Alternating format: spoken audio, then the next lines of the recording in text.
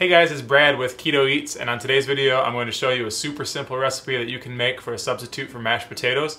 I call it cauliflower mashed, and it's only five ingredients. So the first thing I like to do is take my cauliflower and get it washed, get it prepped, get it ready.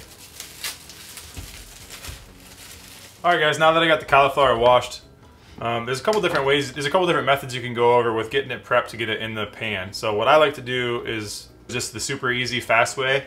Um, and so what I like to do is just take just take my knife and cut it down into small pieces. And just throw it straight into the pan. To the pot.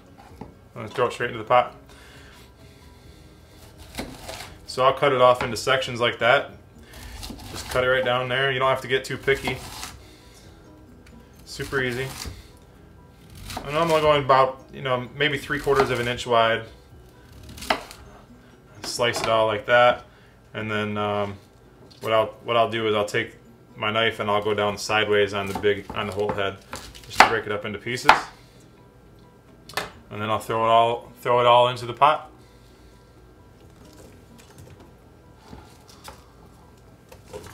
Alright, so now that I've got the broccoli in the pot, what I like to do is just take, I'll go through and take these and just break them up into a little bit smaller, you know, more of like, more florets, more into florets. I don't have to get the stem stock part out. If you see, like, I just put it in there um, and it'll all cook down. It'll all eat the same. So it, just break those down into big pieces. I like to break the big pieces down um, just so it cooks a little bit more evenly for me.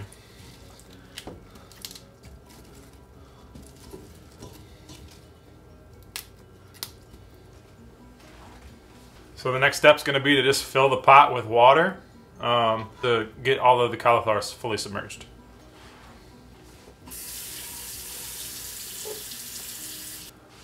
So what you'll end up with will be something like this. Cauliflower in a pot filled with water. So we're to put that on the stove and we're to start. Alright, so the cauliflower is in the pot on the stove and you're to let that um, come to a boil. Boil that for about 8 to 10 minutes. That'll get the cauliflower all nice and tender. So while it's boiling, I want to go over the nutritional breakdown with you guys and some of the ingredients. So first off, I use a whole head of cauliflower um, and then I use one third cup one third cup of just regular old Kraft Parmesan cheese, and then I use um, one one tablespoon of granulated garlic, and then I use one half teaspoon of pink Himalayan salt, and then one half stick of butter.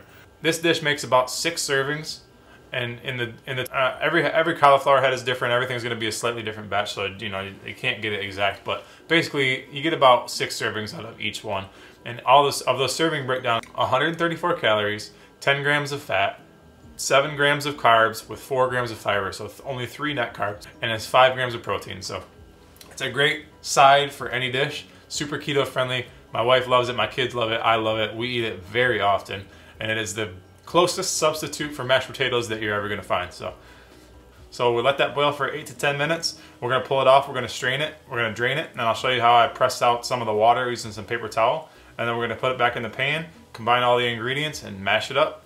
I'll show you how I get the excess of moisture out. So we're gonna take the cauliflower and just dump it straight into the strainer.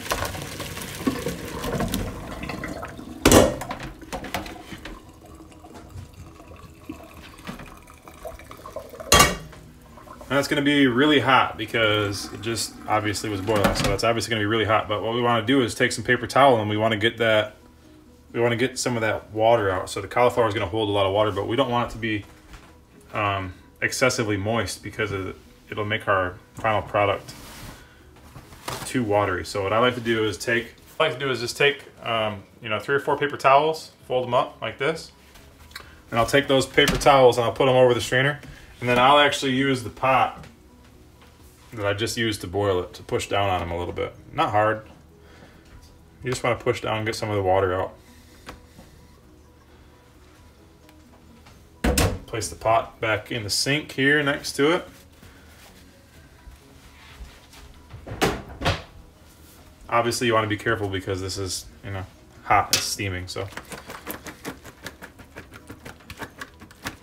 I'll just take the cauliflower that's strained and dump it back into the pot.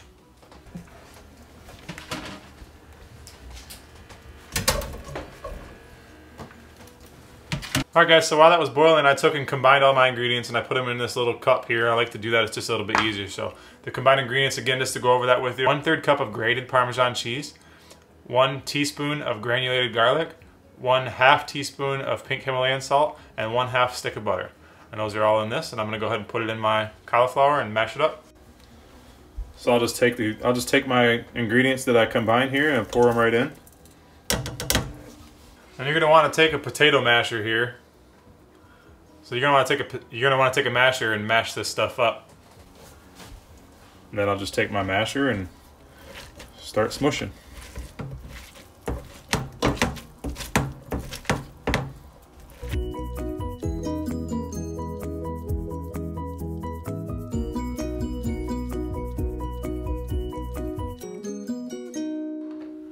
Alright guys, so what you end up with is this super simple, super delicious, super simple. It looks like mashed potatoes and it takes the place of mashed potatoes. So any meal you want to make steak and potatoes, use steak in this mashed cauliflower. It's delicious and it's literally amazing. I actually like it better than mashed potatoes. So try it for yourself, super easy. Let me know how you like it, leave me some comments.